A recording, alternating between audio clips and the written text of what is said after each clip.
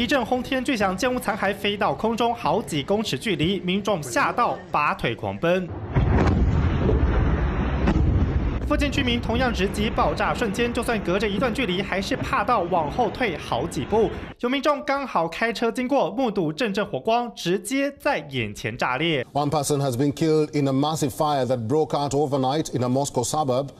The fire that broke out in a shopping complex spread to over 18,000 square meter. 俄罗斯首都莫斯科郊区一座购物中心九号清晨发生一起大火，整个商场大面积燃烧，超过两个足球场大小。火势猛烈，好几公里外都能看到熊熊烈焰窜烧。大火一路烧了四个小时才受到控制。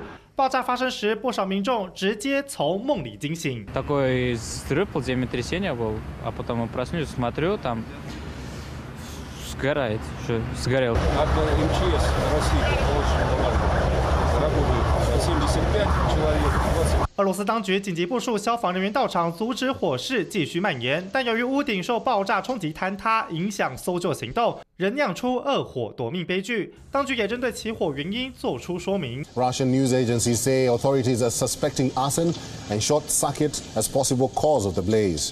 俄罗斯保险公司指出，这场大火不仅摧毁购物中心，还连带波及停车场停放车辆，总经济损失恐高达台币九十八亿元。只是对于民众来说，亲眼目睹爆炸瞬间，恐怕已在心里留下难以抹除的恐惧。